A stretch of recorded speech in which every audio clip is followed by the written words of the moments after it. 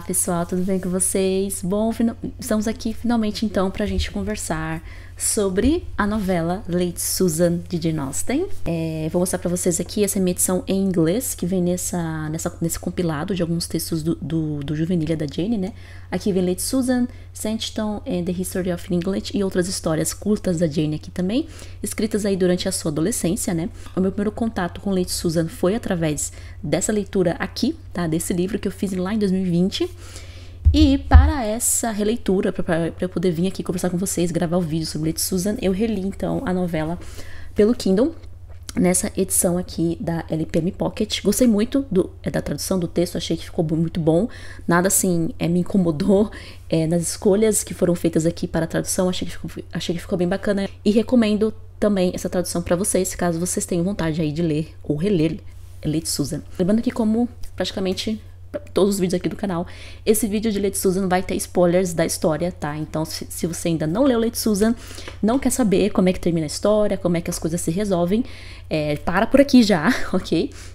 E salva o vídeo e depois quando você terminar de ler, você vem aqui e assiste o vídeo e deixa, e deixa os, seus comentários a respeito da obra. E gente, eu já vou adiantando para vocês que Lady Susan, assim, é de longe a novela que não é menos favorita que eu tenho da Jane, né? Foi a que eu menos li. É, eu só li duas vezes, diferente dos outros romances da Jane, que eu já li várias vezes. Eu sei que tem fãs da Jane que são super fãs de Lady Susan, adoram a novela, estudam, enfim, gostam, mas para mim, assim, é um romance, é, é uma novela estranha. Exceto, já vou adiantando aqui, mas é, é, é uma história, assim, meio inusitada, né? É, e bem diferente do que você vai encontrar em qualquer outro livro da Jane, né? Até mesmo a vilã aqui, que é a, a vilã, vamos dizer assim, a anti-heroína da história, Lady Susan, é uma personagem que eu acho muito pior até do que vários antagonistas da Jane aí, né? Mas eu já tô me adiantando. Antes disso, antes, antes de eu entrar propriamente dito da história, é, eu trouxe aqui para vocês alguns dados interessantes sobre, esse, sobre essa novela, né? A respeito da, da escrita e publicação de Lady Susan. Vai dizer os estudiosos e pesquisadores da Jane que a Lady Susan foi escrita por volta aí de 1794, quando a Jane tinha apenas 19 anos.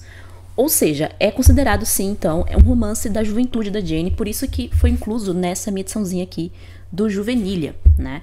Porque é, a gente percebe que tem coisas muito mirabolantes nessa época em que a Jane escrevia. Então, a Jane era só uma adolescente e ela escrevia histórias assim muito imaginativas. Quem leu, por exemplo, Henry e Eliza é, e outros textos do Juvenilha da Jane percebe que a Jane tinha uma imaginação muito fértil e as histórias tendiam a ser extremamente é, mirabolantes.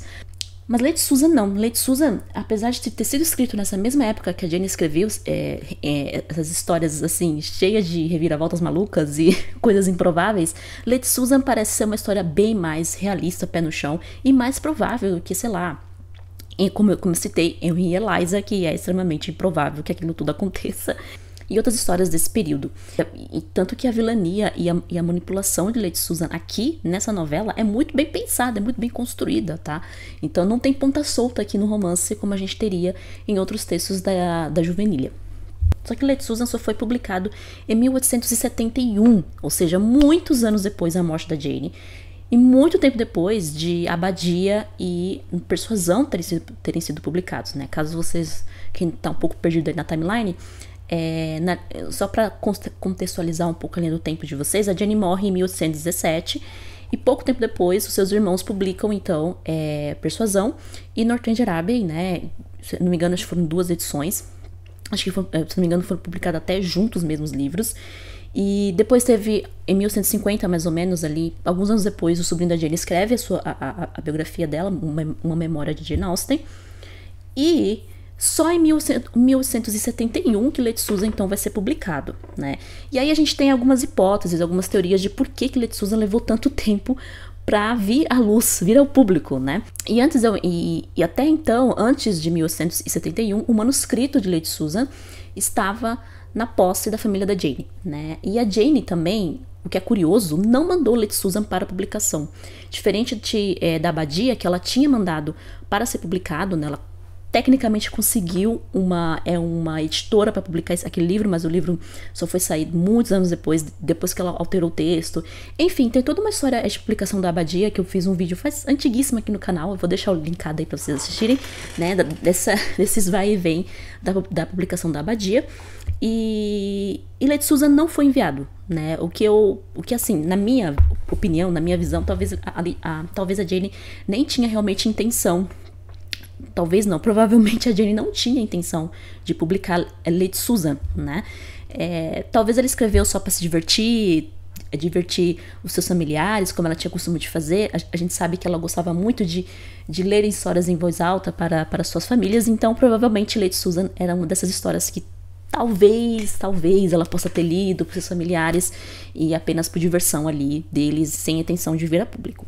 E aí, algumas hipóteses também, além dessa, de por que, que o, livro demorou tanto para ser publicado, né? A primeira hipótese, acho que provavelmente, aqui é só hipóteses, tá, gente? Então não tem como a gente afirmar nada com certeza em relação é, a isso. Assim como muitas coisas em relação à vida da Jane, não tem como a gente afirmar com certeza, né? Então a gente, vocês sabem que a, a biografia, a vida da Jane tem muita coisa que para nós ainda é um mistério até hoje, né? Pode ser que a gente nunca vá saber.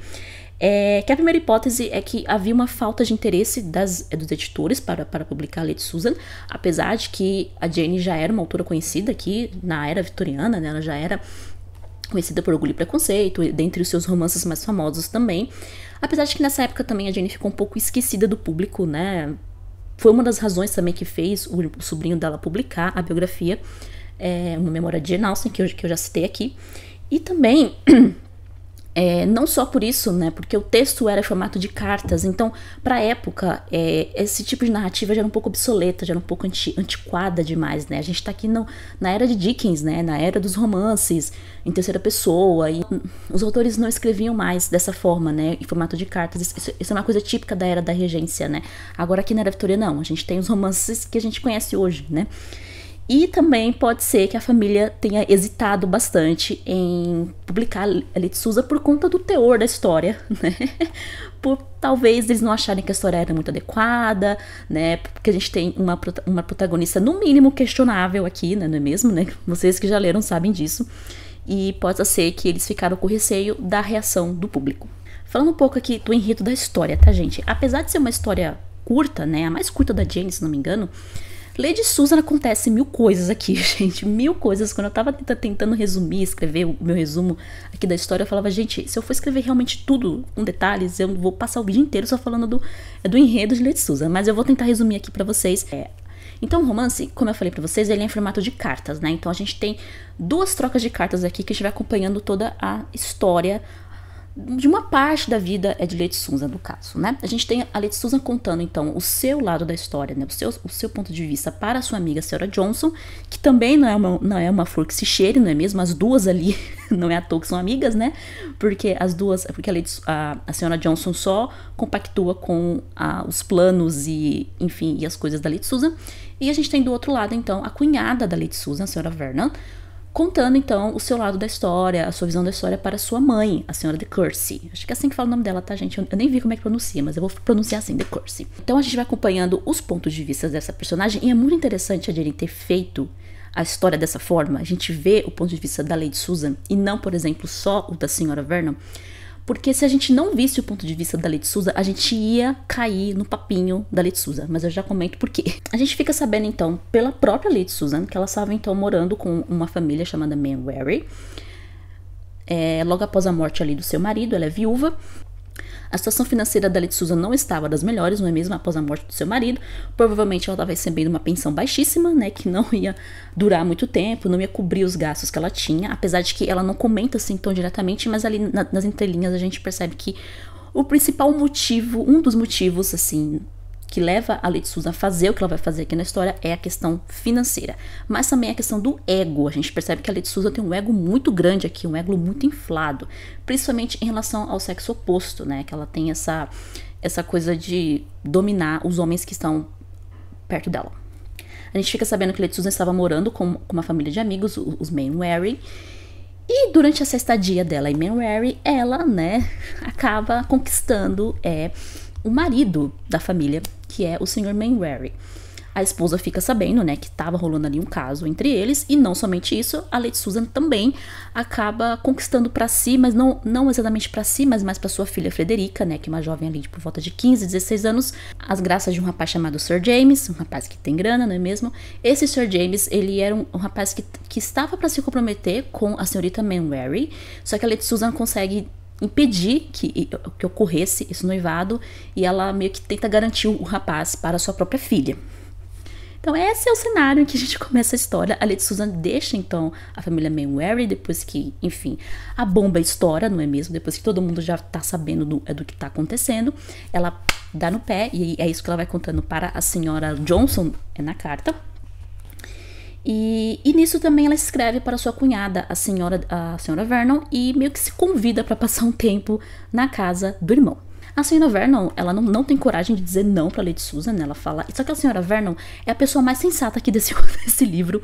É a senhora Vernon, porque ela sabe de tudo que a Lady Susan fez. Ela conhece o caráter da, da Lady Susan, ela, ela não se deixa enganar muito pela, pela polidez, pela máscara que a Lady Susan veste.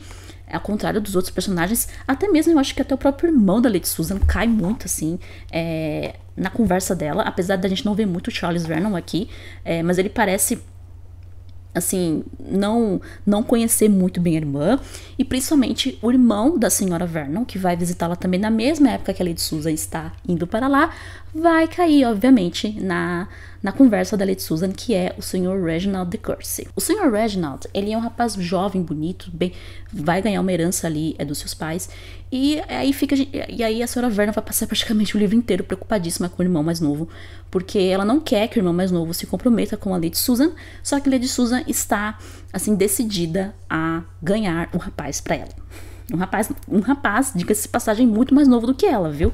Porque dá a entender aqui que Lady Susan tem por volta de uns 35 e 36 anos, o que já era considerada uma mulher de meia idade pra época, ok? Mas Lady Susan era uma mulher muito bonita, sabe? Sabe aquelas mulheres assim, que parece que não envelhecem, sabe? Continuam bonitas, continuam é, jovens, apesar da idade. Pois é, se bem que 35 anos não é velho, né, gente? Pelo amor de Deus, eu tenho 30. se 35 anos for velho, eu tô lascada. Mas enfim, voltando à história. É, então, ela, além dela ser muito bonita, e parecer mais jovem do que ela realmente é, era uma mulher encantadora. Não fica muito claro aqui na, é na, entre, as, entre as trocas de cartas, como que esse encanto, esse charme da, da Lady Susan funcionava, né? Essa é a desvantagem de você, de você contar uma história de forma, de, forma de cartas, né? Se fosse uma narração em, em, em, terceira pessoa, como é, por exemplo, em Orgulho e Preconceito, a gente veria mais, né, da Lady Susan usando o charme dela ali para conquistar o que ela quer, na verdade, né? É, Lembra-se que eu falei para vocês que ela tem um ego muito inflado, ela gosta de colocar os caras aos pés dela e ela precisa de dinheiro, tá? Então, essa é uma das motivações mais importantes aqui da, da personagem. Só que durante as, as cartas que ele de Susan manda para a senhora Johnson, a gente tem um vislumbre, né, de como que ela manipulava as pessoas, principalmente os homens, sejam homens mais velhos ou homens mais jovens, como o Sr. Reginald. E ela tinha uma lábia inacreditável, cara. Ela conseguia, assim, virar a situação a favor dela só na conversa, que é um negócio impressionante. A conversa, obviamente, e o charme, como eu falei para vocês, era uma mulher encantadora. Antes de eu continuar contando o que, que a Litsuza apronta na casa é, do, do irmão dela, inclusive o irmão dela que ela tentou separar da cunhada antes deles se casarem, ela não aprovava o, casamento do irmão com a, com a senhora Vernon por conta da questão da, da propriedade, né? Que ela queria que a propriedade ficasse, então, para os seus futuros filhos. Só que Litsuza teve apenas uma filha, que é a Frederica. A Frederica, tadinha, é a que mais sofre aqui na mão da mãe. Porque a Frederica, ela morre de medo da mãe. Ela tá em Londres, né? Em uma escola que ela detesta, né?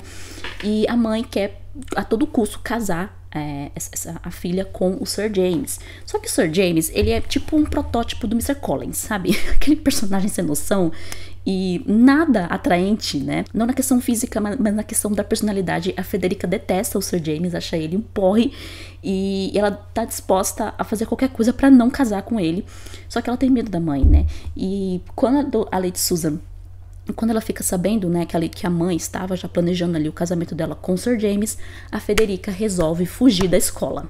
Só que a coitada, gente, ela, ela, ela literalmente, a, a Lady Susan vai dizer que ela virou a esquina e já acharam ela e levaram ela de volta para a escola. E a dona da escola escreveu para pra, Lady Susan, pra Lady Susan, dizendo que a filha estava tentando fugir, etc. E a Lady Susan, ela é muito esperta, ela é muito perspicaz, ela sabe que a Federica estava fugindo por conta da questão do casamento. Obviamente, ela fica possessa com a filha, né? E, mas isso sem, assim, mostrar nada para o irmão dela, o Charles, e nem a senhora Vernon. Que, que ela quer, na verdade, ganhar a confiança dos dois, né? Tanto do irmão dela quanto da senhora Vernon. Vai vendo.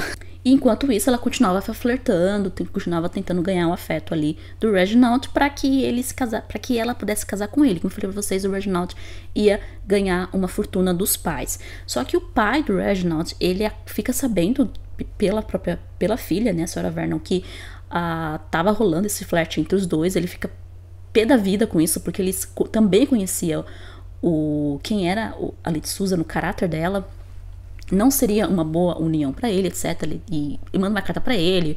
A gente vê a troca de cartas entre o Reginald e o pai dele. O Reginald fala: Não, tá tudo certo, eu não vou me comprometer. Eu só gosto dela porque ela é uma boa pessoa. E ela foi difamada, entendeu? Porque assim, o Reginald, ele. No começo da história, ele sabia do que tinha acontecido entre a Lady Susan e o Sr. Manwary e o Sir James também. Só que quando ele conhece a Lady Susan, ela vai contar uma versão completamente diferente, manipulada ali para o, para o Reginald, dizendo que ela foi difamada, que ela jamais faria uma coisa dessas, entendeu? Que aquilo é um absurdo, só porque ela era uma viúva, entendeu? Faz lá um drama mexicano pro Reginald e ele cai como um patinho. Gente, o Reginald, ele é o personagem que mais me irrita nessa novela, porque ele é muito cego. Tem hora que ele é muito burro também, mas enfim.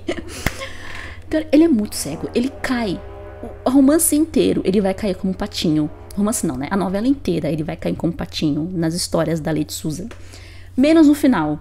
O final é que finalmente ele acorda pra vida. Mas até chegar nesse final, eu tinha vontade de esganar. eu tinha vontade de pegar o Reginaldo e falar assim: olha, você é burro, pelo amor de Deus. Como que você ainda acredita nela? Só que a gente tem essa reação, pelo menos eu tive essa reação, porque a gente conhece quem é a Lady Susan. A gente sabe que o que a Letizia tá fazendo é tudo pra, é tudo para ela conseguir o que ela quer, não porque ela realmente gostava do Reginald ou porque ela gostava da filha, nada disso. É, e, e a gente sabe que a história com o Sr. Manwary foi real, inclusive é uma história que vai acabar aí pegando mais pra frente quando ela vai para Londres. Então, é, a gente sabe, a gente tem esse, esse desgosto com o Reginald porque a gente conhece o ponto de vista da Lady Susan. Agora, se a gente não conhecesse o ponto de vista da Lady Susan, a gente talvez ia também cair na conversa dela. A gente ia, também ia ser enganado por ela, porque ela consegue enganar assim de uma forma inacreditável o quanto que ela é esperta, o quanto que ela é inteligente. Então, isso fica aqui o, o, elogio a Jane, né? Porque ela criou uma, essa personagem, como eu falei pra vocês, ela, ela, ela era uma adolescente, né? Como que. É, e é basicamente uma amostra do, é do, talento, do talento precoce que a Jane tinha.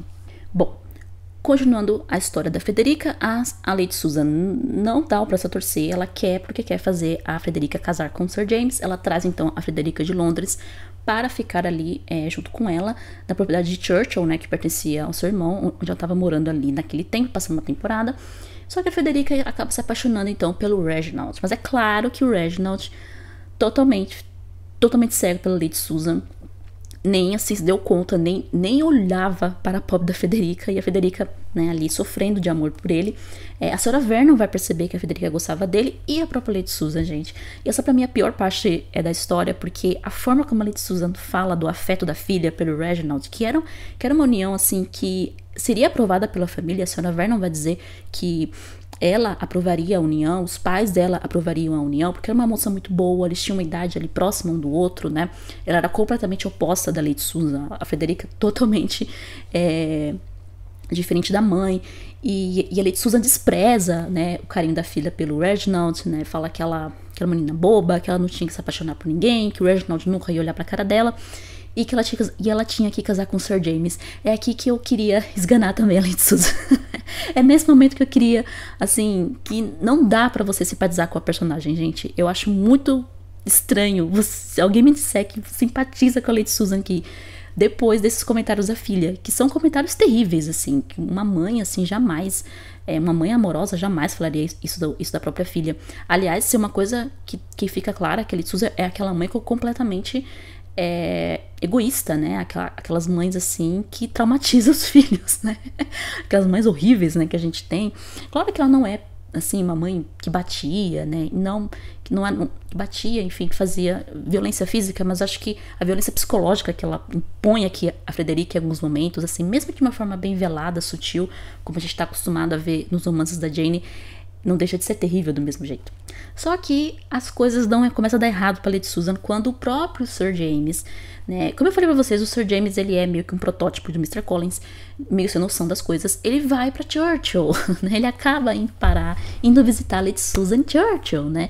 E a Lady Susan fica possessa com ele porque ela não queria que, os que a irmã e o, que o irmão e a cunhada interferissem na questão do casamento da Frederica, né? Só que com o Sir James passando uns dias lá com eles, ela não teria para onde fugir dessa, dessa situação.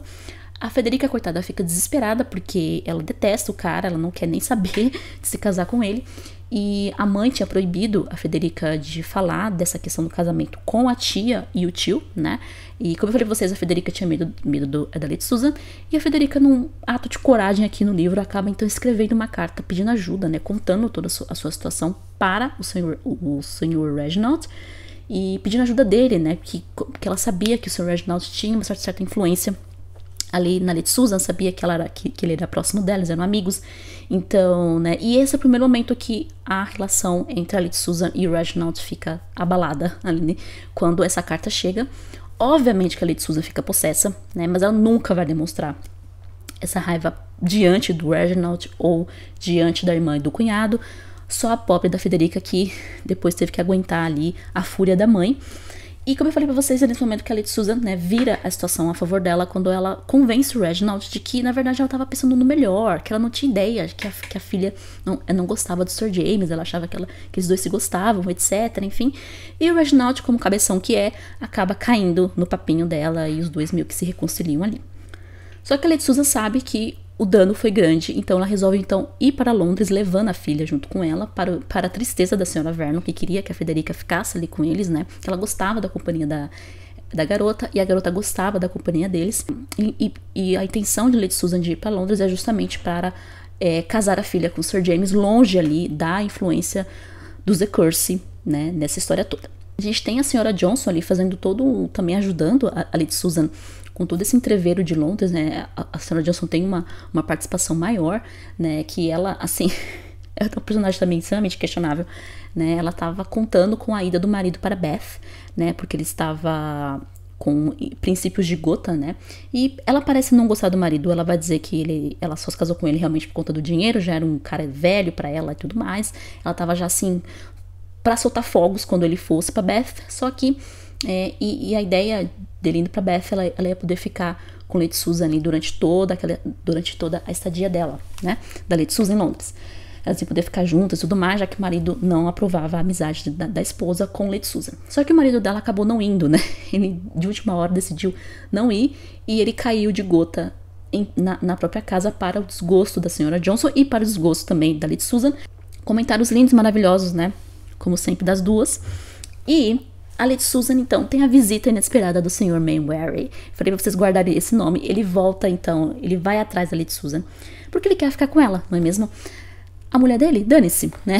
A mulher, dane-se. A filha, dane-se também. então, ele passa a visitar Lady Susan todos os dias.